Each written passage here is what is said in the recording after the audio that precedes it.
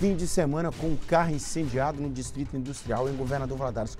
O caso vem acompanhado por uma terrível história.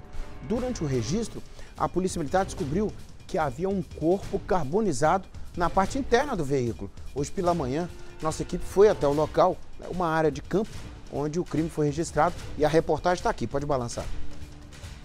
As chamas consumiram toda a estrutura do veículo. A perícia da Polícia Civil recolheu informações junto ao que sobrou do automóvel.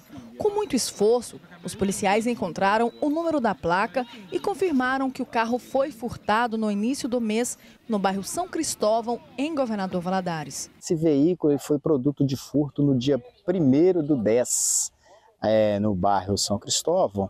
E a gente está aguardando também, vamos identificar agora o proprietário do, do veículo e aguardar também para identificar esse corpo carbonizado.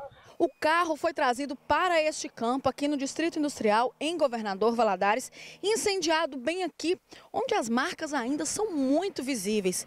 Quando os policiais chegaram para atender essa ocorrência, eles encontraram mais do que o interior do carro muito destruído.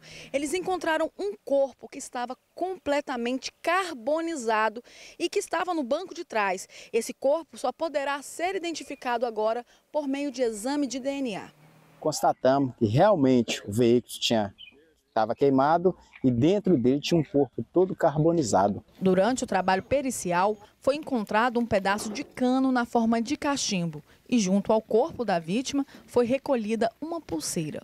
O caso, cercado de mistério, foi na manhã do último domingo.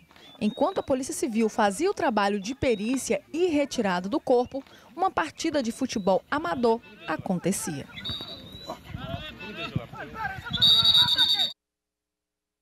É, discrepância né, de sentimentos, né? Meu Deus.